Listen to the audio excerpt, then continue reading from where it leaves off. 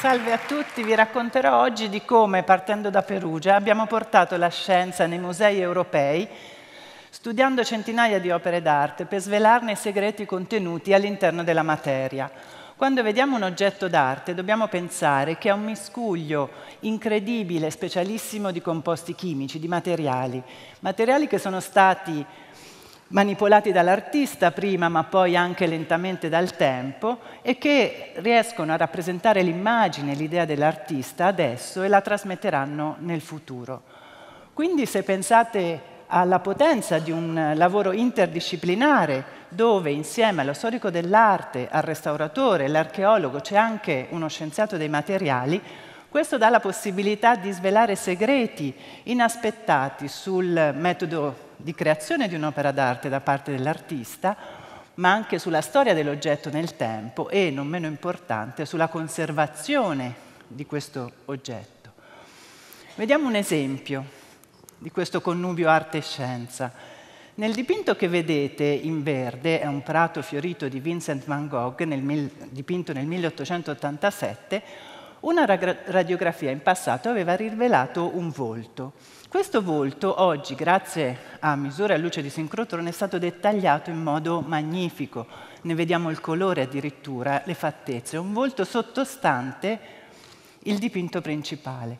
E adesso che lo vediamo così bene, capiamo che è un volto in realtà noto, noto, simile ad altri dipinti di Vincent van Gogh. Quindi la storia del dipinto è svelata. Fu realizzato in Olanda in un periodo precedente, probabilmente intorno all'85, portato da Vincent van Gogh a Parigi e ri, riutilizzato per poi eh, eseguire questo prato fiorito molto più in linea con la moda parigina. Allora questi connubi felici, arte e scienza, dove svegliamo misteri, dove scopriamo nuovi dipinti, ci sono, ma non sono tanti purtroppo. E il motivo è presto detto. Vediamo cosa è successo a questo dipinto per avere questo mistero svelato è stato innanzitutto portato per 400 km da Otterlo, dove è conservato, ad Amburgo, a un laboratorio di luce di sincrotrone. Bene, il trasporto di un'opera, ve lo immaginate, è sempre un'operazione pericolosa, non gradita, nonché molto costosa. Altro fatto è che il, il dipinto è stato campionato. Alcuni frammenti millimetrici, ma frammenti originali di materia di Van Gogh, è stata presa con un bisturi e portata in un altro laboratorio di luce di sincrotrone a Grenoble. Bene, quindi questo che potrebbe essere un felice connubio poi si arena di fronte al fatto che la scienza dei materiali propone metodi non idoni, non adatti. E quindi lo storico dell'arte, restauratore, spesso preferisce rimanere cieco, non avere informazioni sui materiali, piuttosto che trasportare l'opera o addirittura campionarla. Allora abbiamo la necessità di un'innovazione. Quale può essere l'innovazione? L'idea sarebbe quella di adattare questi metodi scientifici alla peculiarità del settore. E a partire dagli anni 2000 nel mio centro di ricerca, CNR Università, abbiamo pensato di ribaltare la prospettiva. Se l'opera d'arte non può viaggiare in laboratorio, bene che sia il laboratorio che allora si adatta e viaggia e va all'opera. Quindi abbiamo iniziato a realizzare, prototipare, adattare una serie di strumentazioni che qui vi mostro, che riuscissero a fare questo lavoro nuovo. E abbiamo utilizzato sempre spettroscopia, quindi interazione luce-materia, e sono una serie di strumentazioni che ci permettono di avere la composizione delle molecole sulla superficie di questi oggetti in modo non invasivo. Le strumentazioni sono disassemblabili e le mettiamo in queste casse, sembrano un po' le casse dei musicisti, ma in realtà noi invece di chitarra elettrica o sintetizzatore abbiamo una serie di detector, laser, pulsati a varia energia e così via. La nostra tournée si realizza viaggiando comodamente con questo transporter che qui vedete parcheggiato davanti al museo di Picasso ad Antibes, un posto bellissimo. Allora vi faccio vedere un esempio come nella pratica questo laboratorio mobile, che si chiama Molab, lavora. È un documentario che filma il nostro arrivo a Venezia, alla Peggy Guggenheim Collection, dove siamo stati invitati o chiamati a studiare 11 dipinti di Jackson Pollock. Jackson Pollock lo conoscete, è il pittore genio e sregolatezza americano, un pioniere dell'arte contemporanea che ha inventato una tecnica, quella del dripping. È morto a 44 anni per incidente stradale, è un po' considerato il James Dean dell'arte contemporanea. Insomma, il MOLA parte, in questo caso è Science on the Boat, andiamo con le nostre casse, con gli strumenti scientifici, sul Canal Grande, arriviamo a Palazzo Venier dei Leoni, che è lì dove è questa magnifica collezione di Peggy Guggenheim. Le scatole vengono portate nel museo e dopo poche ore, per magia, c'è un laboratorio di spettroscopia avanzata nelle sale di esibizione del museo che lavora con i materiali di Pollock. Lavoriamo sempre, o se possibile, in presenza del pubblico, che in genere è molto incuriosito e vede quello che sta andando avanti nelle sale del museo.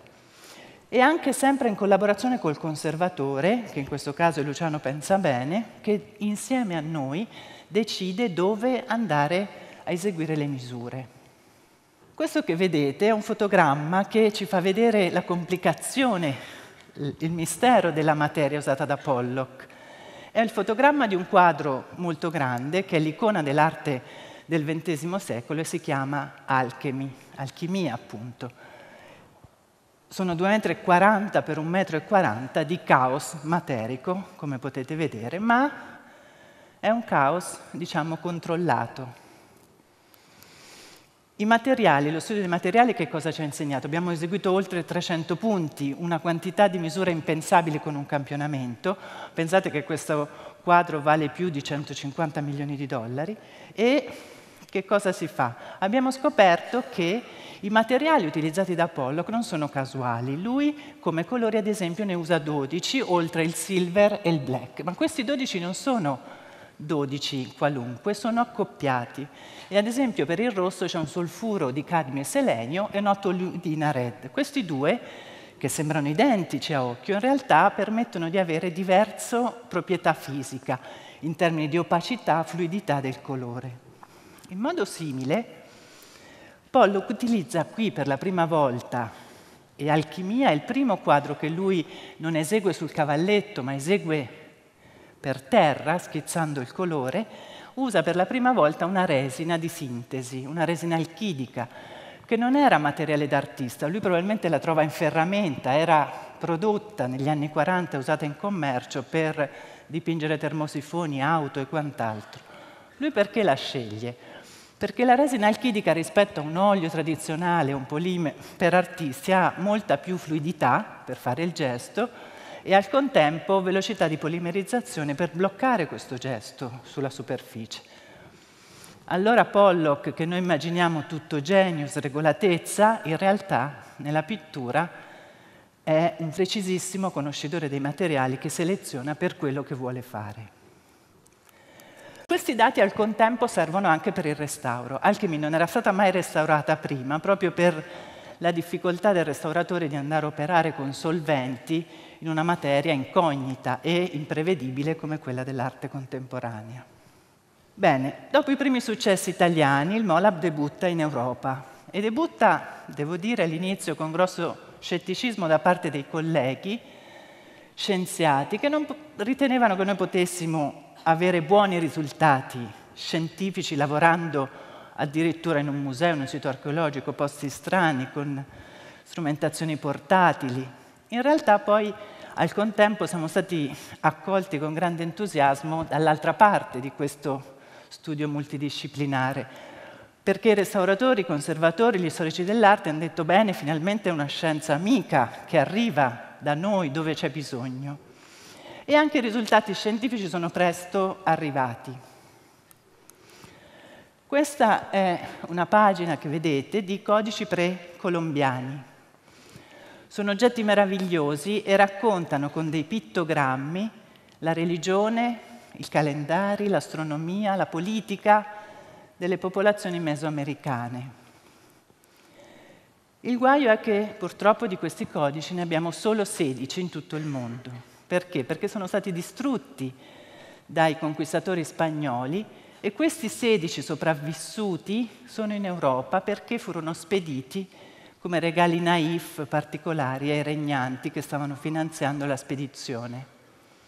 Quindi tutta la conoscenza della cultura mesoamericana è racchiusa in questi codici che ci narrano proprio la vita la religione e la politica. Sono in Europa e nessuno li aveva mai studiati prima, vi potete immaginare, non si possono spostare, non si possono campionare, finché c'è stata la possibilità di studiarli con il MOLAB. Sono conservati ad esempio qui a Roma, alla Biblioteca Vaticana, al Museo Antropologico di Madrid, al British Museum di Londra e al Bodleian University di Oxford. Bene, ne abbiamo studiati non tutti e 16, ma parecchi, abbiamo osservato qualcosa di peculiare.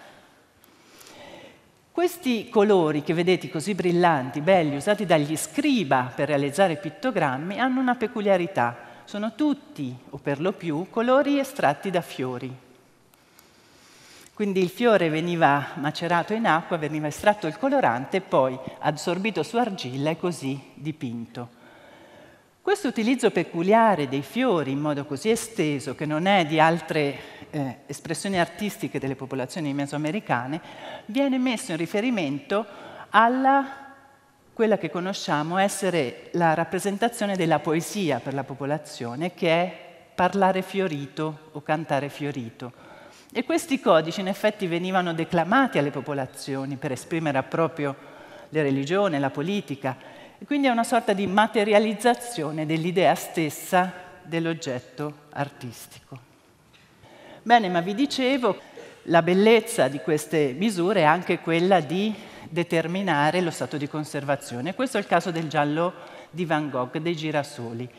Il giallo di Van Gogh dei girasoli, che è un quadro notissimo, amatissimo, è un giallo di cromo che ha purtroppo la tendenza a virare nel tempo. Ella Hendricks si è accorta di questo problema, conservatrice al Van Gogh Museum, e ha ritirato il dipinto dall'esposizione e che cosa ha fatto? Ha chiamato il Molab per analizzarlo. Siamo andati con le nostre strumentazioni, abbiamo anche studiato in laboratorio il processo di degrado, che è una fotoriduzione, e abbiamo scoperto che ce n'è una tipologia di giallo di cromo che tende a iscurirsi e l'altra no. E infine abbiamo dato una mappatura di tutto il dipinto per capire esattamente qual è lo stato di conservazione, in quale zone dobbiamo porre attenzione e come illuminare e far tornare il dipinto sicuro in esposizione per il pubblico. Bene, questo è il MOLAB. Il MOLAB lavora e porta la scienza, ma anche gli scienziati on the road. E negli ultimi dieci anni siamo stati finanziati dalla Commissione europea come prima e unica infrastruttura mobile per i beni culturali. Grazie a questo abbiamo potuto visitare decine di paesi invitati da musei, siti archeologici, chiese, è stato decisamente un successo oltre le nostre stesse aspettative.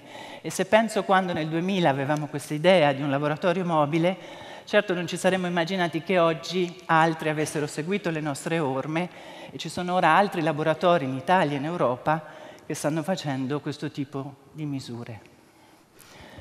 Nell'insieme un approccio non invasivo ha davvero portato un grande impulso alla scienza dei beni culturali, sia in termini di quantità di oggetti studiati, che altrimenti non lo sarebbero stato, ma anche in termini di qualità della ricerca prodotta. E questa qualità perché è aumentata? Sì, perché le strumentazioni sono buone, hanno buone performance, ma perché soprattutto queste strumentazioni portate facilitano la interdisciplinarità, ci portano insieme nello stesso luogo e nello stesso tempo con scienziati di discipline diverse, storici dell'arte, restauratori, in empatia di fronte all'opera. Questo è il segreto di, del MOLAB e questo pensiamo sia il segreto anche di altre tecnologie e scienze quando si applicano ad ambiti interdisciplinari. Grazie.